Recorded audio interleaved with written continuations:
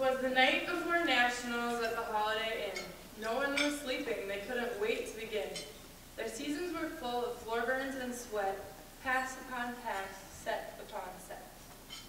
So much work had been put towards achieving a dream of winning a national championship as well as one well-rounded team. For everyone knows that whether tall or short, each member is needed. It's the ultimate team sport. 64 teams cut down to just eight. Four matches tomorrow will decide each team's fate. A victory will land a spot in a semifinal match, while the losers will have a plane ride home to catch. Regardless of the outcome from this point on, each team should be proud that they finished strong. For how many people are able to say, I played in the Elite Eight back in my day? Representing our school, Concordia St. Paul, we are pumped to be here and play volleyball. We are so grateful for the food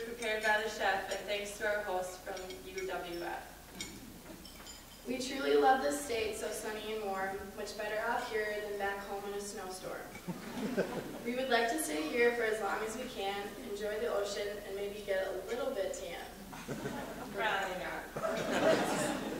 So congrats to every single team here. This room is full of talent, that much is very clear. So now I shall end this poem with delight. Happy Nationals to all and to all good night.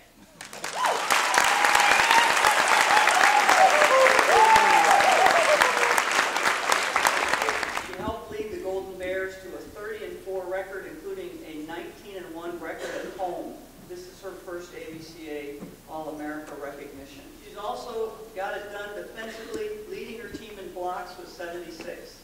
This is her second appearance as an AVCA All-American. St. Paul from Delano, Minnesota.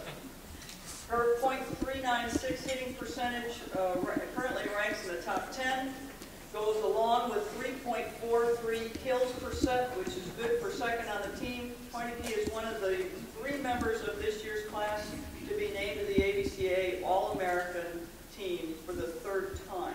Amanda Konetchy, one of the top setters in the country. It should come as no surprise. She is the Division II leader in assists, averaging 13 per set.